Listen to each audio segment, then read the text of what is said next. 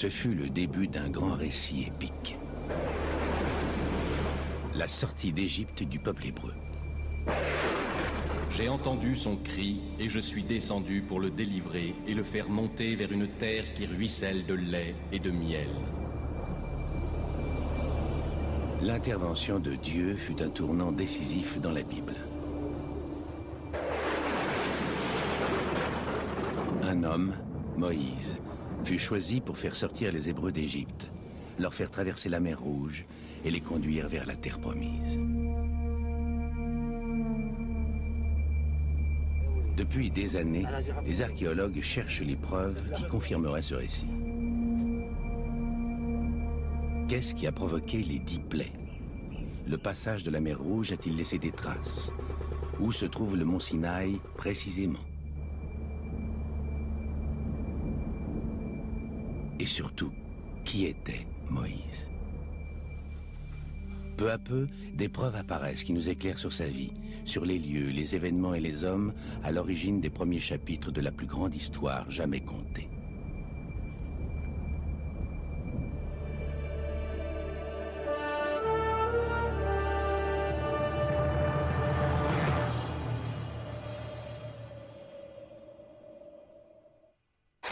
In Exodus it is written, You shall keep the feast of unleavened bread, for on this day I brought your hosts out of Egypt. Compté depuis des siècles et des siècles, le récit de l'Exode constitue le fondement de la foi judaïque. Moïse lui-même est perçu par le judaïsme, le christianisme et l'islam comme le père fondateur du monothéisme.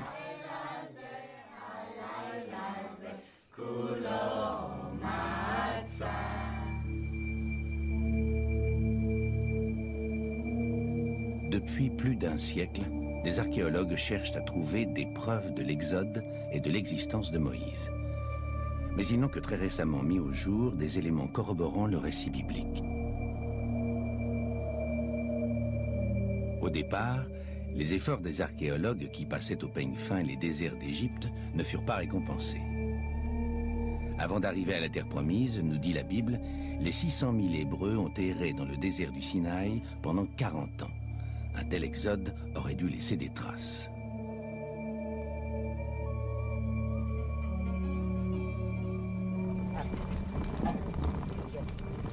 Même de petits groupes de nomades, comme ces bédouins, laissent leurs empreintes sur le désert. Les archéologues ont découvert que les restes de repas, os carbonisés, fragments de poterie, etc., peuvent traverser des milliers d'années. Or, rien n'a été trouvé, aucune trace de l'immigration massive d'une population. Certains spécialistes en ont tiré des conclusions surprenantes et controversées. Si vous faites des fouilles en Égypte et que vous ne trouvez rien qui puisse se rapporter aux Israélites, vous en déduisez qu'aucun Israélite n'a séjourné en Égypte. Malgré 150 ans de fouilles archéologiques en Égypte, aucune trace des Israélites n'a encore été découverte. Si les Hébreux n'ont pas foulé le sol égyptien, affirment les sceptiques, alors les épisodes de la naissance de Moïse, des dix plaies d'Égypte, du passage de la mer Rouge et même des dix commandements n'ont jamais eu lieu. Dans ce cas, d'où viennent ces récits?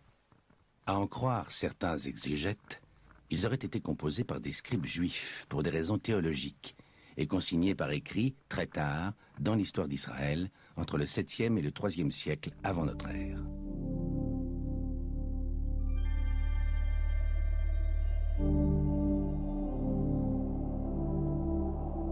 Mais l'absence de preuves archéologiques pourrait avoir une toute autre explication. Notamment la difficulté de fouiller les régions mentionnées dans la Bible, en particulier l'immense étendue du désert du Sinaï.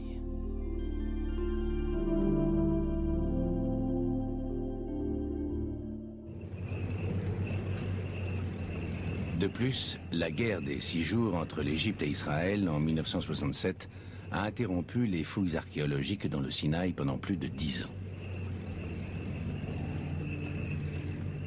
Mais depuis le retour de la paix dans les années 80, les archéologues ont repris leur travail. Le site le plus reculé, mais aussi le plus prometteur du Sinaï, et celui de la montagne Serabit el Radim.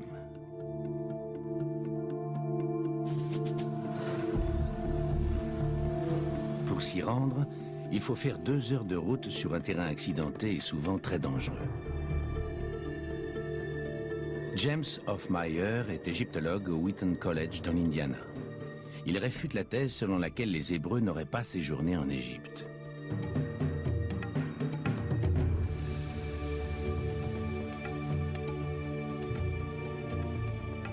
Près du sommet de la montagne se trouvent des grottes.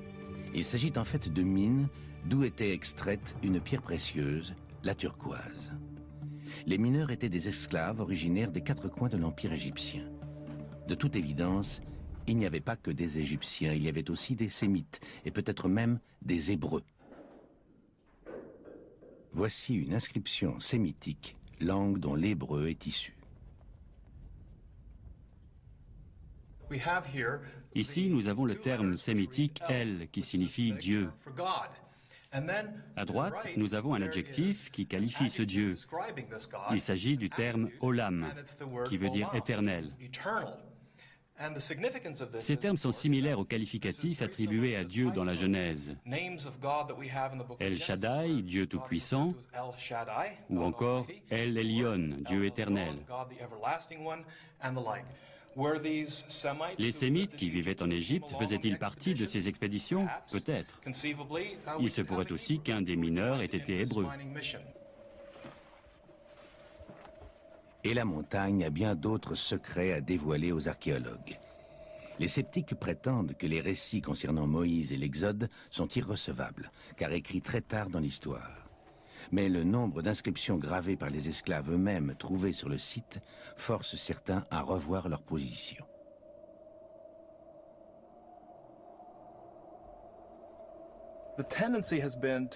La tendance a été de reléguer les Hébreux au rang de sous-hommes qui n'auraient pas su écrire, qui auraient maîtrisé l'écriture beaucoup plus tard. Mais si de simples carriers étaient capables de graver leur nom dans la pierre, il ne fait aucun doute que les Hébreux étaient capables de consigner par écrit des choses beaucoup plus importantes pour eux. Les découvertes faites sur les flancs de la montagne de Serabit el Radim ont fait renaître l'espoir chez les biblistes. Si les Hébreux étaient en Égypte et s'ils savaient effectivement écrire, alors l'histoire de Moïse est peut-être bel et bien vraie.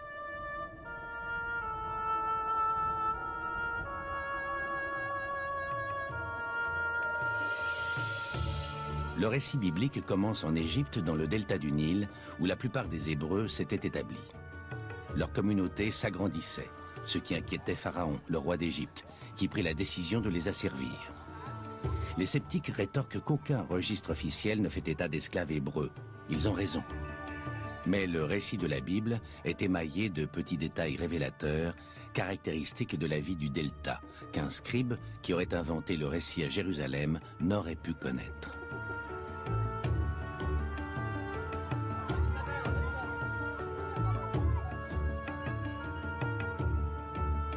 Les Égyptiens leur rendirent la vie amère par de durs travaux. Préparation de l'argile, moulage des briques. Aujourd'hui encore, les fermiers du delta construisent leurs maisons selon cette technique ancestrale. Ils mélangent de l'argile et de l'eau qu'ils laissent sécher pour fabriquer des briques. Cette technique était courante dans le delta, mais pas à Jérusalem. À moins de disposer d'un témoignage, un scribe juif n'aurait pas pu inclure ce détail.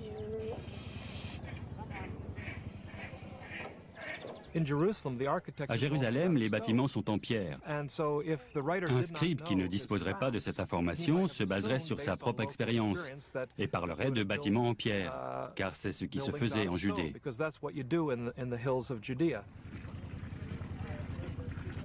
Le texte biblique fait également état d'un détail encore plus impressionnant.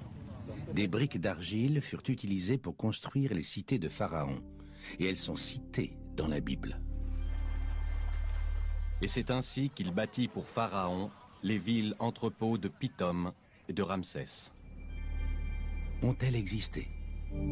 L'Égypte d'aujourd'hui ne compte aucune ville du nom de Pithom ou de Ramsès. En revanche, le pharaon Ramsès II, qui régna entre 1290 et 1224 avant Jésus-Christ, fonda sa capitale Pi-Ramsès, la maison de Ramsès, dans le delta. Mais où exactement?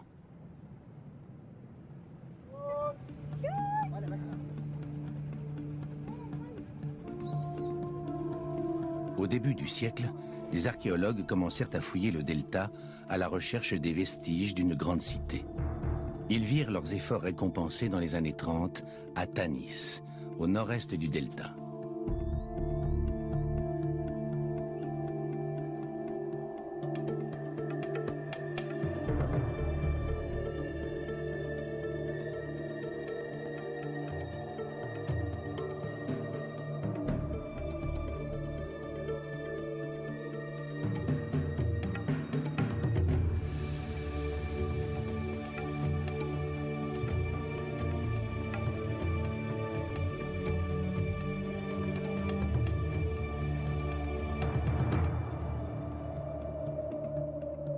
S'agissait-il de la ville construite par les Hébreux? Les ruines étaient suffisamment imposantes et les statues et les inscriptions dataient de Ramsès II.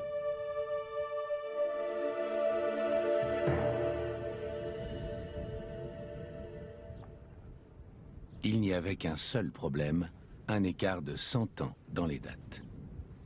Les fragments de poterie trouvés sur le site indiquaient que la ville avait été construite vers 1100 avant Jésus-Christ.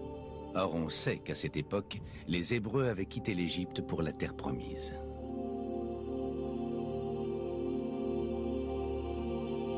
Sur cette stèle, qui se trouve aujourd'hui au musée du Caire, figurent les noms des peuples conquis par les Égyptiens vers 1220 avant notre ère.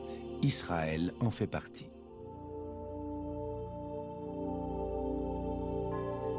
En 1100 avant notre ère, les Hébreux ne pouvaient plus se trouver en Égypte, les archéologues étaient perplexes.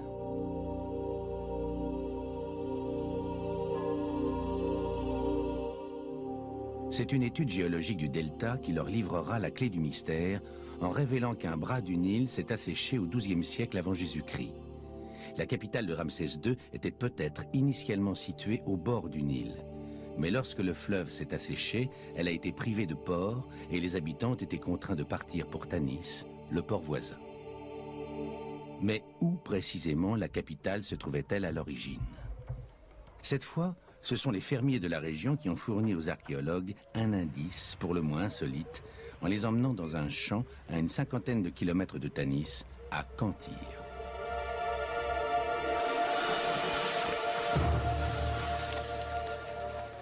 Deux gigantesques pieds, vestiges d'une statue. Non loin, le socle d'une colonne. Les inscriptions confirment qu'il provient d'un temple élevé à Ramsès II.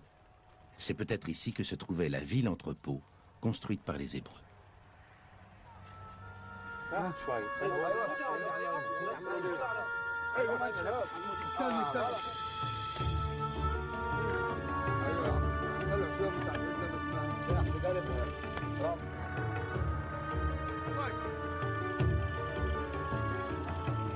La zone a été fouillée par des archéologues allemands et autrichiens.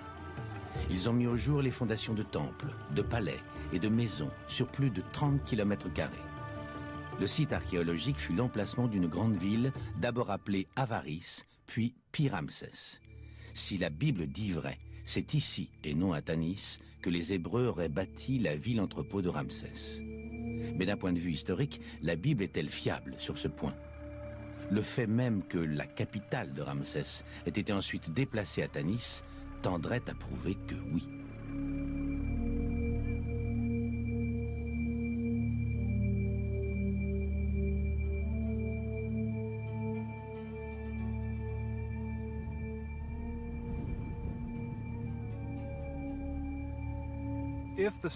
Si les récits de Moïse et de l'Exode avaient été écrits beaucoup plus tard, comme le suggèrent certains critiques, ils auraient fait référence à Tanis comme capitale de l'Égypte. Or, dans la Bible, il est question de Ramsès, ville qui, en l'an 1000 avant Jésus-Christ, n'existait déjà plus. J'ai du mal à croire qu'un scribe ait pu savoir qu'elle allait être abandonnée 4 ou 500 ans plus tard.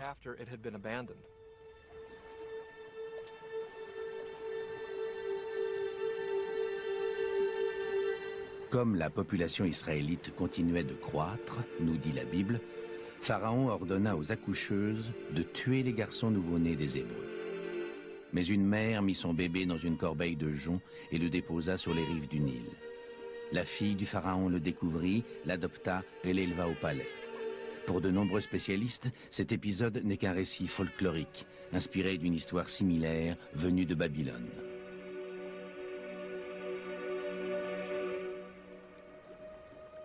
Selon le mythe local, Sargon, roi légendaire de Babylone, aurait également été découvert dans une corbeille au milieu d'une rivière. Mais si tel était le cas, il serait normal de trouver des échos du récit babylonien dans le récit hébreu. Or, il n'y en a pas.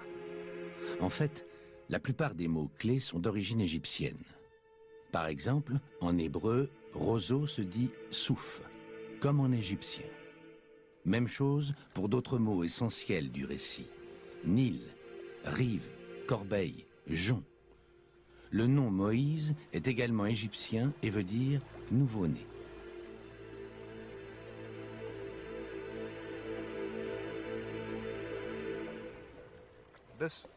Le récit paraît très authentique. Je ne vois pas comment un scribe juif du 5e siècle aurait pu connaître ces mots égyptiens. C'est plutôt l'œuvre de quelqu'un qui vivait à cette époque et qui était peut-être bilingue.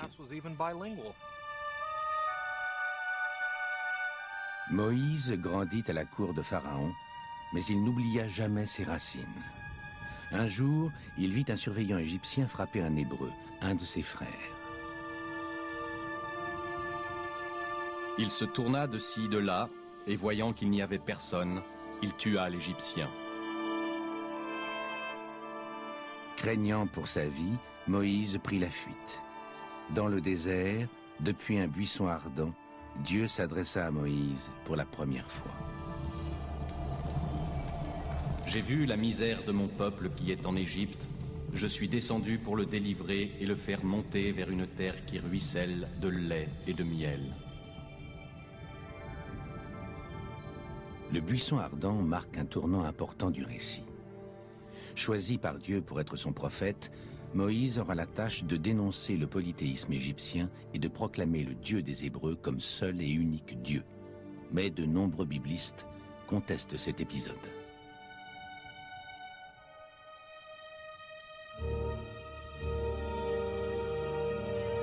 Le monothéisme serait trop avancé pour l'époque de Moïse. Il est plus réaliste, selon eux, de considérer que le monothéisme est le fruit de penseurs juifs ayant vécu à une époque plus tardive où le judaïsme était déjà une religion établie. Mais, une fois de plus, l'archéologie remet en cause cette thèse. Au centre de l'Égypte, dans une région aujourd'hui appelée Amarna, les archéologues mettent au jour les vestiges d'une autre cité perdue.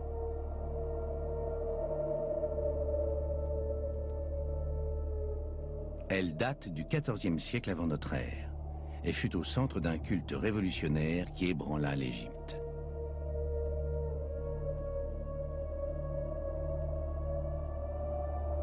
Son fondateur était un pharaon à l'allure étrange appelé Akhenaton. L'Égypte était alors polythéiste, mais dans un éclair d'inspiration, de folie, disent certains, Akhenaton s'attaqua au polythéisme et fit détruire les inscriptions et les images des multiples dieux d'Égypte. À la place, le souverain hérétique proclama le dieu solaire comme seul dieu véritable.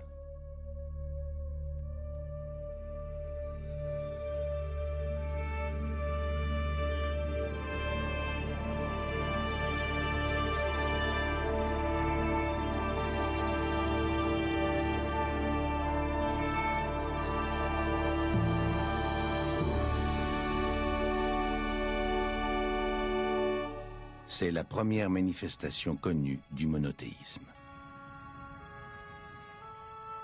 Puis, Akhenaton érigea une nouvelle capitale avec des temples consacrés au dieu solaire.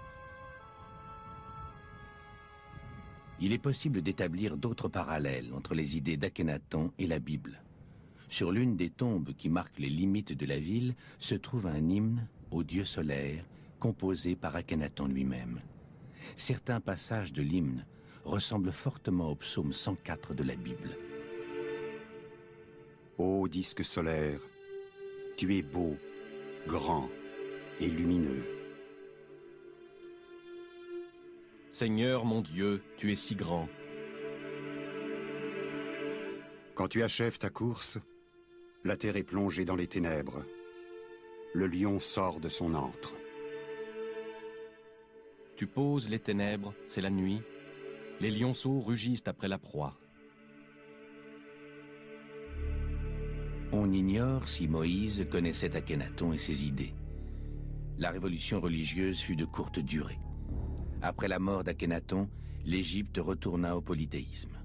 La cité qu'il avait bâtie dans le désert fut abandonnée. Le nom d'Akhenaton fut partout effacé et oublié.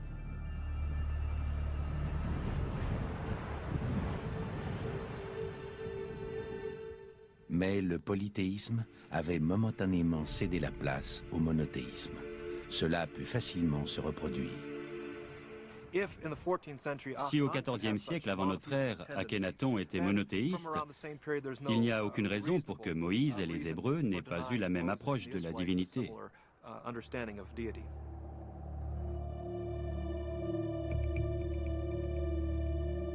En tant que prophète de Dieu, la première tâche de Moïse fut de retourner en Égypte et de demander à Pharaon de libérer les Hébreux.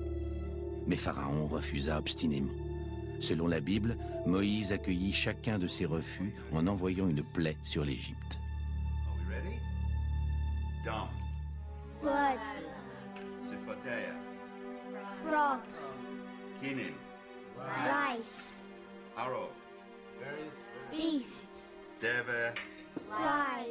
Shachin, Boils, Barad, Hail, Araba, Locusts, Choshech, Darkness, Machas Beforot, Slaying of the Firstborn.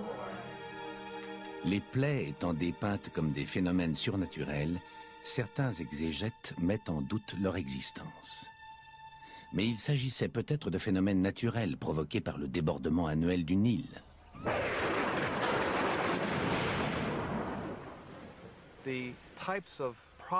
Les problèmes mentionnés dans l'Exode ressemblent aux problèmes rencontrés en Égypte. Les temps, les grenouilles. Le texte biblique est conforme à la réalité égyptienne. Ce qui est différent, c'est que ces phénomènes naturels se produisent en même temps et que leur ampleur est plus importante. Mais quel pouvoir naturel aurait pu déclencher une telle série de catastrophes? Le récit de la neuvième plaie renferme un indice. Il y eut d'épaisses ténèbres sur tout le pays d'Égypte pendant trois jours. Cet événement fut certes exceptionnel, mais il ne fut pas unique.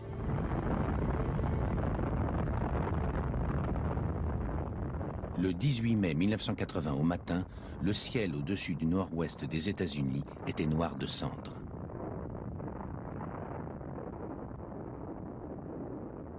Le volcan du mont Saint-Hélène était en éruption. Les témoignages recueillis sur place rappelaient la Bible. Ensuite, il s'est mis à tomber de la grêle.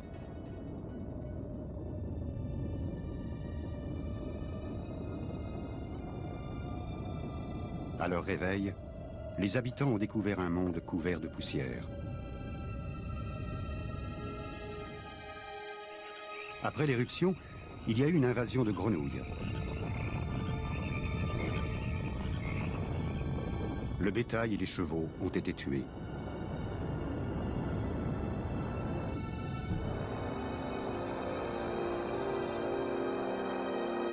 Une éruption volcanique est l'une des catastrophes naturelles qui auraient pu entraîner les plaies bibliques. Il n'y a pas de volcan en activité en Égypte, mais il y en a un à 800 km sur la petite île grecque de Santorin.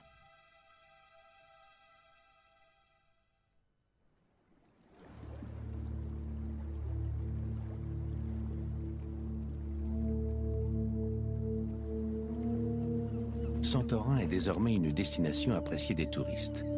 Les passagers qui arrivent à pied doivent louer un âne pour atteindre la ville.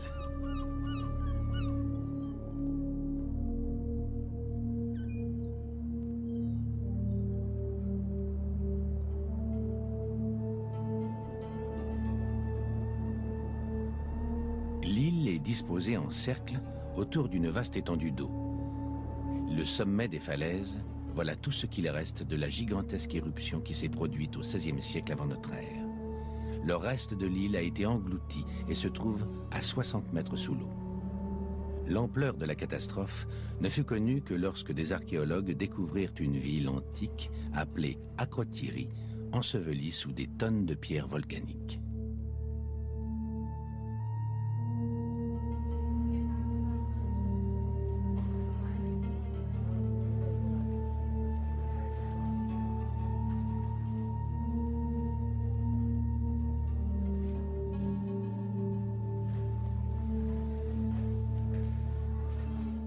Professeur Christos Doumas, directeur de la mission archéologique, estime que le volcan a craché 100 fois plus de cendres et de pierres que le mont Saint-Hélène.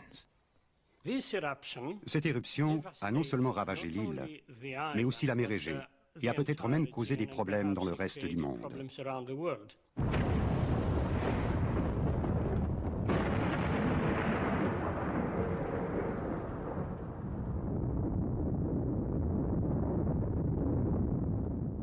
Ce fut l'une des plus importantes éruptions de ces dix mille dernières années. Sa puissance était 100 fois supérieure à une bombe atomique d'une mégatonne. En théorie, les retombées ont pu atteindre l'Égypte. Mais est-ce le cas? L'étude des fonds marins montre qu'à l'époque, le vent soufflait en direction de l'Égypte. Le professeur Hans Gödicke, du Centre d'études du Proche-Orient de l'Université John Hopkins, était convaincu que les cendres du volcan avaient atteint l'Égypte il ne lui manquait que des preuves scientifiques. Je suis allé au Smithsonian Institute pour rendre visite à l'océanographe, le docteur Daniel Stanley. Je lui ai soumis mon idée. Je pense qu'il ne me contredira pas. Il m'a regardé comme si j'étais fou.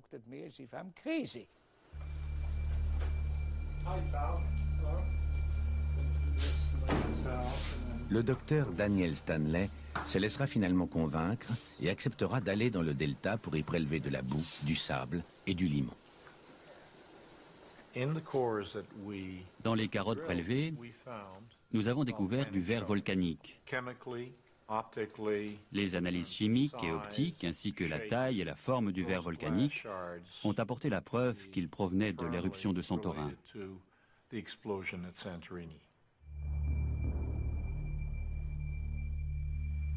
En étudiant les morceaux de verre volcanique, le docteur Stanley a pu déduire l'impact que l'éruption a dû avoir sur l'Égypte.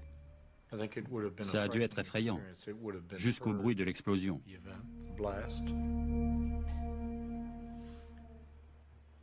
Le ciel a dû s'assombrir, des nuées de cendres ont dû se répandre. Aussi, je doute qu'il n'y ait pas de traces écrites. C'est ce qu'on appelle une grosse éruption.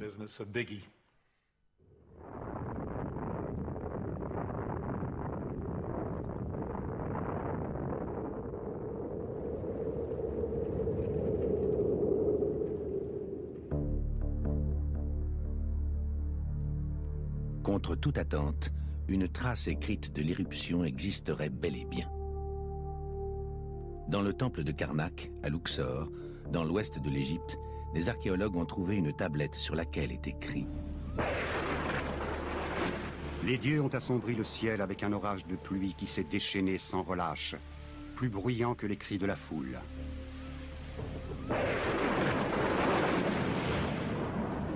L'inscription date de 1538 avant Jésus-Christ, ce qui coïncide avec l'éruption. Si l'on en croit cette théorie, L'éruption de Santorin explique aussi l'épisode suivant de la Bible. À la dixième plaie, Pharaon céda et libéra les Hébreux.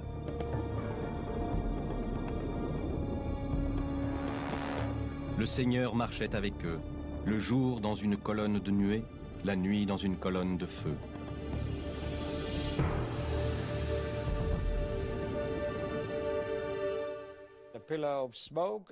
La colonne de fumée et la colonne de feu sont des phénomènes volcaniques. On ne peut pas les rattacher au volcan.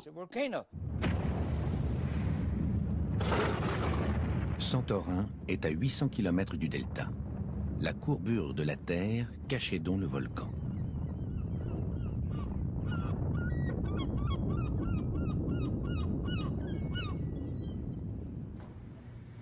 Mais d'après les cendres trouvées dans le delta, le docteur Stanley en a déduit que la colonne de fumée s'était élevée à 65 km au-dessus du niveau de la mer. Je pense qu'ils ont vu un gros nuage noir au nord-ouest. Ils n'ont pas pu voir la lave ni le rougeoiement que l'on associe généralement à une éruption volcanique. Mais je pense qu'ils ont vu ce gros nuage noir.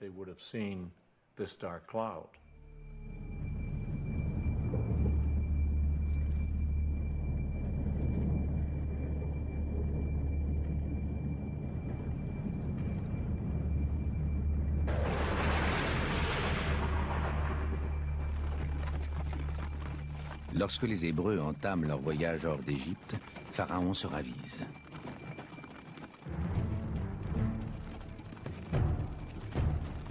Il envoie 600 chars à leur poursuite.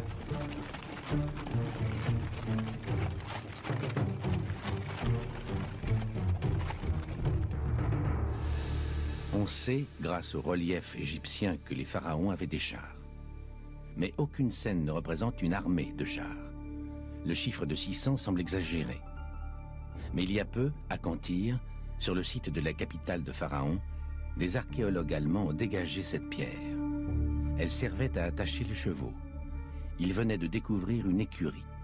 Puis, un peu plus loin, ils ont trouvé un couvre-moyeu. Cette écurie abritait un cheval et son char. Mais un char ne constitue guère une armée. Ils ont donc repris les fouilles.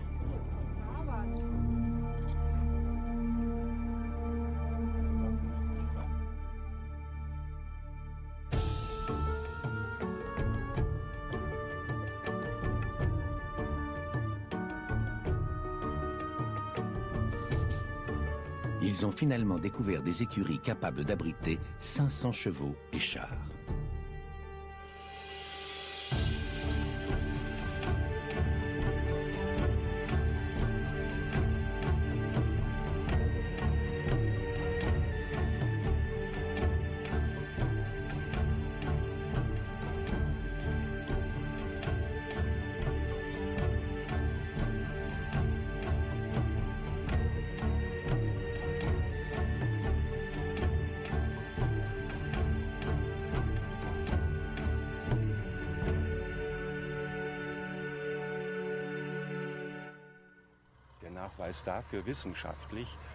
C'est la preuve scientifique que le nombre de chars mentionnés dans les récits bibliques est exact et qu'on ne peut pas parler d'impossibilité. La poursuite des Hébreux par les chars de Pharaon est le prélude au miracle de la mer.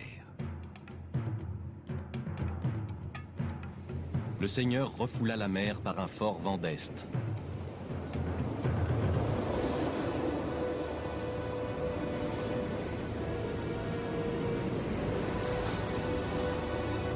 Les Israélites pénétrèrent à pied sec au milieu de la mer.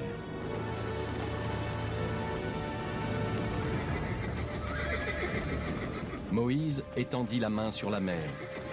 Les eaux refluèrent et recouvrirent les chars de Pharaon. La plupart des biblistes réfutent cet épisode qu'ils qualifient de mythe. La mer Rouge est beaucoup trop profonde. Aucun vent ne pourrait partager ses eaux. Mais en réalité, la Bible ne dit pas que les Hébreux ont traversé la mer Rouge. Le mot rouge est une erreur de traduction.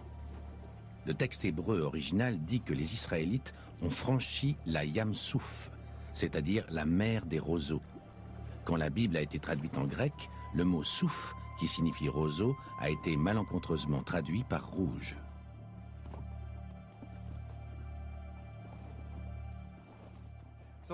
Au moment de traduire ce verset, ils ont traduit Yamsouf par mer rouge. L'erreur est passée dans la version latine, dans la version anglaise, et depuis elle nous poursuit.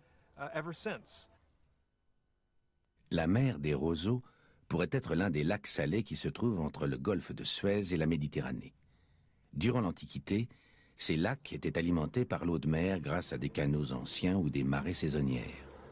De plus, ces lacs sont entourés de roseaux. Le scénario du lac est donc beaucoup plus probable.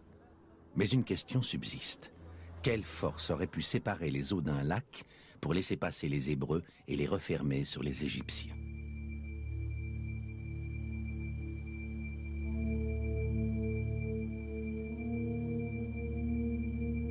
L'éruption de Santorin aurait, semble-t-il, provoqué bien plus qu'un nuage de cendres. À 110 km au sud de Santorin se trouve la Crète.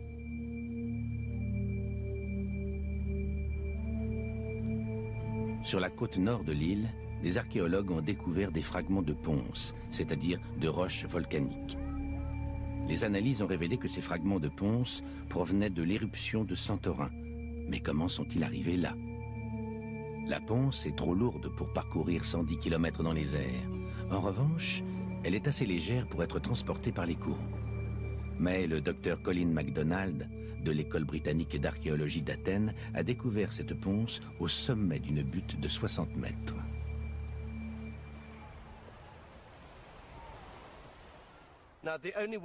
Il n'y a que deux façons d'expliquer la présence de ces ponces ici. Soit elles ont été transportées par des hommes depuis la plage, soit elles l'ont été par un raz-de-marée.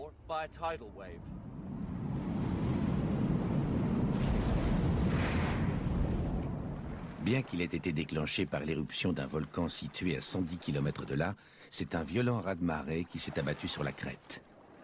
Pour avoir une idée de sa violence, il faut se rendre à Miklos, un petit village de pêcheurs.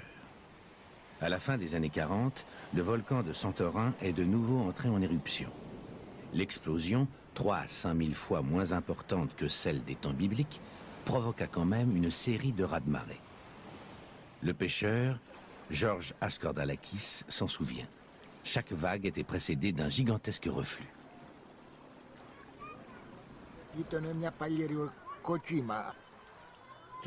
C'est une vague qui mesurait bien 3 mètres. Elle a avancé jusqu'aux maisons sur le port. Ça a duré un quart d'heure et puis elle est repartie. L'eau s'était complètement retirée. On voyait les poissons sauter dans tous les sens. Mais personne n'a osé aller les ramasser. On avait trop peur. On savait que la vague allait revenir.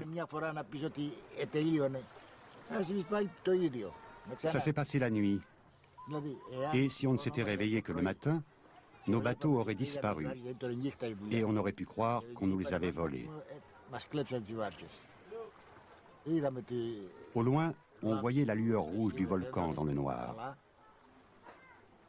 Et puis, il ne s'est plus rien passé.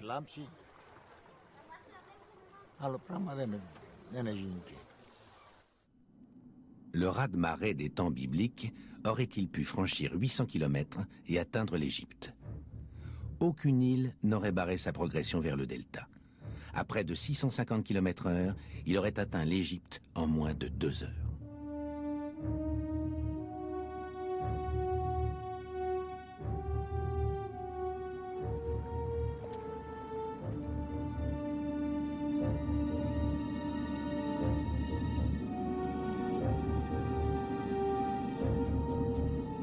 De frapper la côte, il aurait provoqué un gigantesque reflux.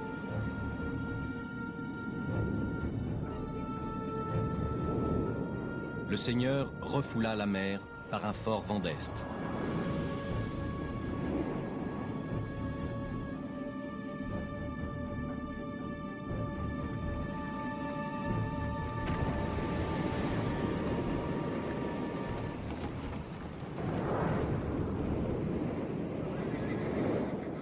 Les eaux refluèrent et recouvrirent les chars et les cavaliers de toute l'armée de Pharaon.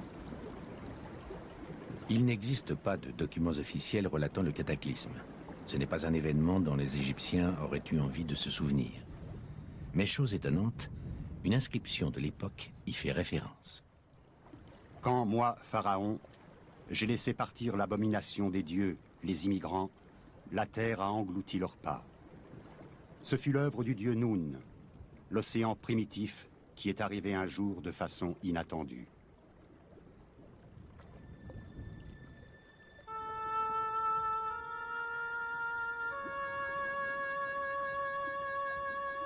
Récemment, des archéologues qui travaillaient dans le delta ont découvert un fragment de ponce.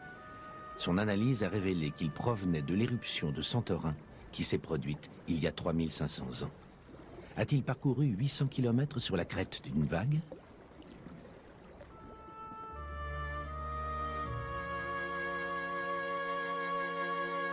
Après avoir quitté l'Égypte, selon la Bible, les Hébreux séjournèrent dans le désert du Sinaï.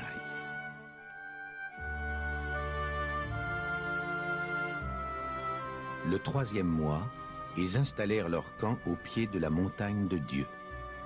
Trois jours après, Dieu appela Moïse au sommet de la montagne et lui présenta les dix commandements.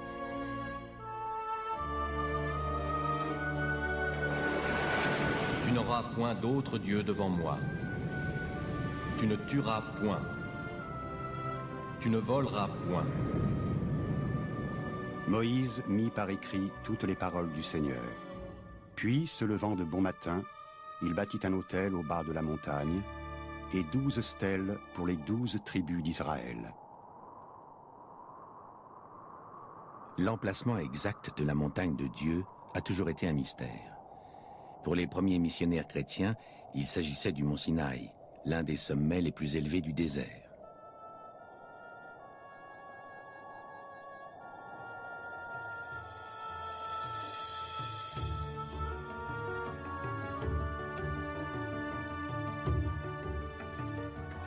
Toutes les nuits, pèlerins et touristes font la longue ascension de trois heures. Ils partent dans la fraîcheur de la nuit. Ils veulent atteindre le sommet à temps pour voir le soleil se lever.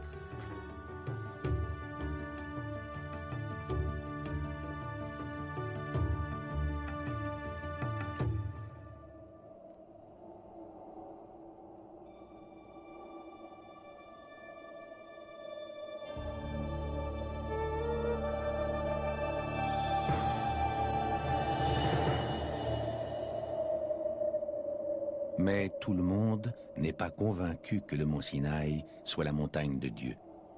Les campements, l'autel, les douze stèles mentionnées dans la Bible n'ont jamais été retrouvés.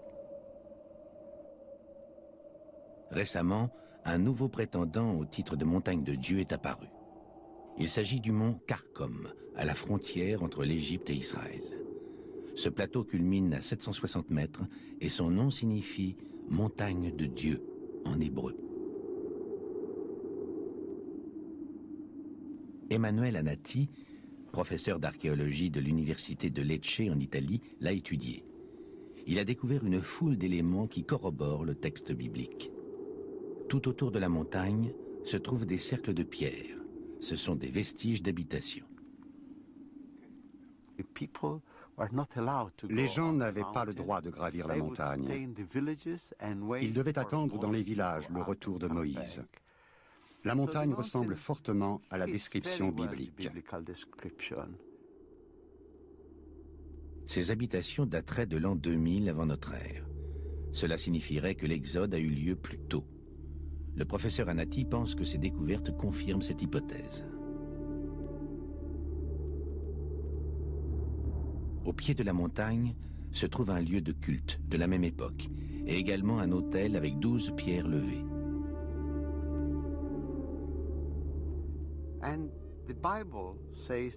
La Bible dit que Moïse a un jour construit un autel avec douze stèles pour les douze tribus d'Israël. Or, ici, nous avons douze stèles et un autel près d'un campement au pied d'une montagne. Personnellement, je trouve ça absolument incroyable.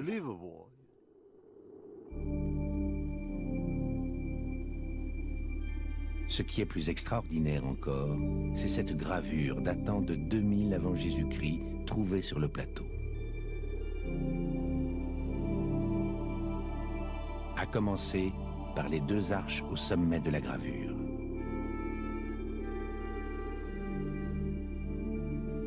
En effet, elle ressemble aux illustrations bibliques des tables de la loi. Mais la comparaison ne s'arrête pas là. On dénombre exactement dix cases.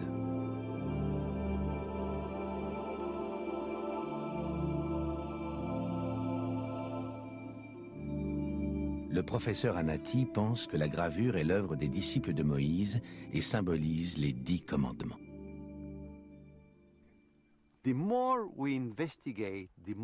Plus on fait de recherches, plus on constate que le récit biblique de l'Exode est fiable.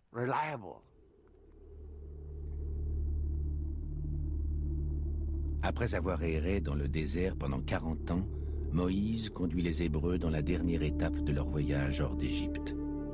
Il n'atteindra jamais la terre promise, il mourra peu avant, mais il aura rempli sa formidable mission.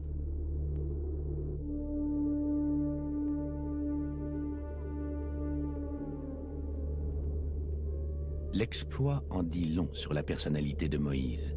C'était un grand meneur d'hommes. Ironie du sort, son éducation à la cour de Pharaon s'est sans doute révélée fort utile.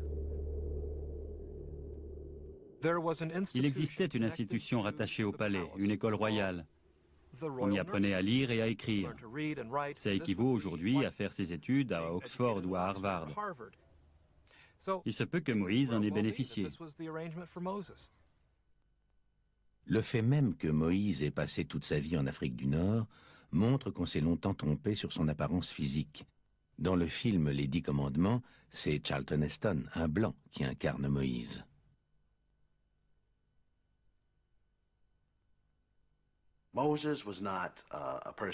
Moïse ne ressemblait pas à Charlton Heston. Uh, Dans les Dix Commandements, Charlton Heston n'était pas même bronzé.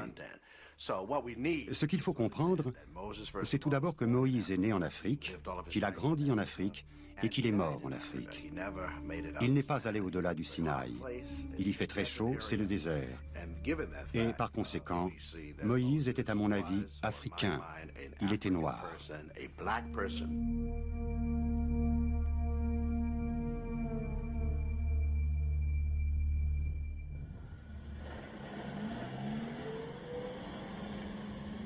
L'archéologie moderne montre que le récit de Moïse et de l'Exode ne peut plus être considéré comme le produit de l'imagination d'un scribe juif.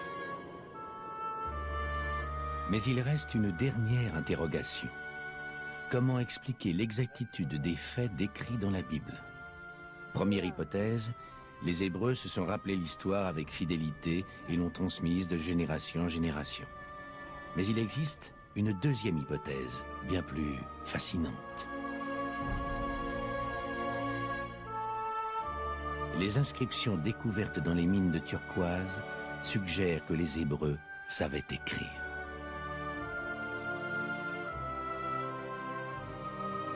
Dans ce cas, il se peut que leur scribe principal ait été le plus érudit du groupe, celui qui avait reçu son éducation à la cour de Pharaon. Moïse lui-même. Il est tout à fait logique, s'il est allé à l'école royale, s'il savait lire et écrire, qu'il ait été choisi pour mettre par écrit les lois, les itinéraires, les étapes.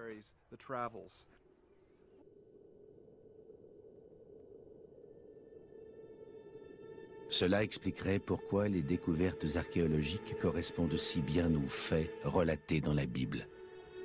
L'oppression des Israélites, l'éducation de Moïse dans le palais de Pharaon, les dix plaies d'Égypte, le passage de la mer Rouge et les dix commandements.